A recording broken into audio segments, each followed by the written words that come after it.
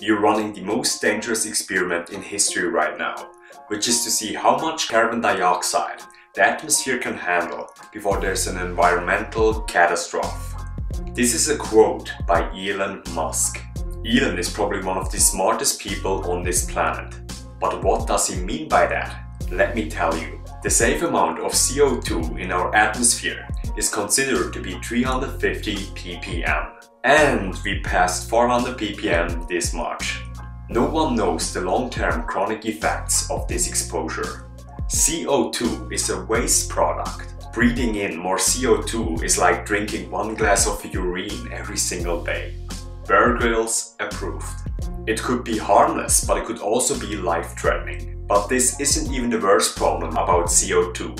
CO2 influences our climate, which makes storms, floods, heat waves and droughts way more likely. Not cool. The bottom line is that climate change is real and it's threatening every living being on this planet. You think CO2 is bad? Let's talk about methane. Cows and few other animals release methane. If CO2 is a lighter, methane is a flamethrower. Methane is a greenhouse gas that traps up to 100 times more heat than CO2, which makes livestock with 51% the biggest contributor to human-made climate change. This morning you felt like a hero and thought about making a positive impact. You took a shower, but only a short and cold one. You know, to save some water and maybe some money. You felt great and thought you needed a treat. You went to McDonald's and ate a hamburger. But wait, what if I told you that the beef in the hamburger needed over 3000 liters of water to be made? This is enough to let you shower for two months. And could be provided for people in need. You know, Africa.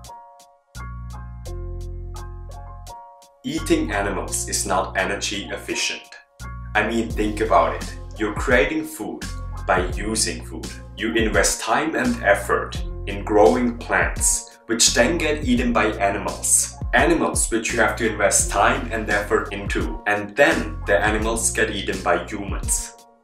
Because livestock takes so much resources. Livestock is responsible for 91% of the Amazon's rainforest deforestation. Most of that percentage is used for animal food, mostly soy. Why eat animals in the first place? Why not eat fewer animals and feed some people with that soy? You know, ever heard about Africa? I mean, eating animals is like building a car, using all your effort, and then suddenly destroying the car and using all its remnants for gas of a different car. A different car, not even a better car. In fact, the previous one was better. And for those that worry about protein, you get 15 times more protein by growing plants on a portion of land instead of animals. Raising animals is shit. No, I'm serious.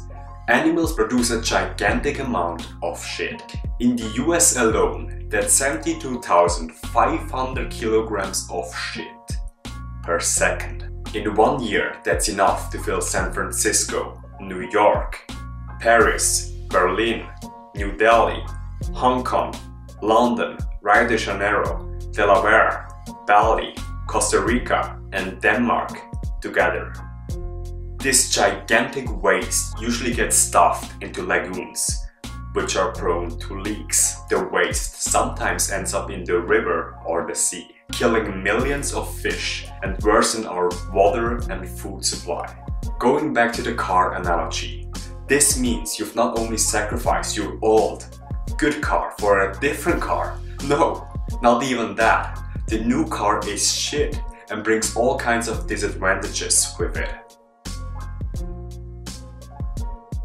Few people talk about animals as the main contributor to climate change. If you go on the homepage of Greenpeace, there's little to no stuff written about it.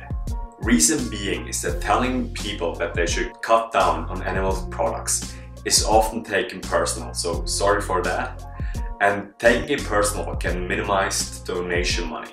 After all, environmental organizations need to pay their bills too.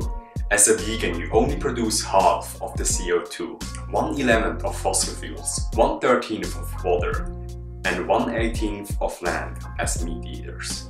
The best time to plant a tree was 10 years ago. The second best time is now. This is a Chucky Beat production.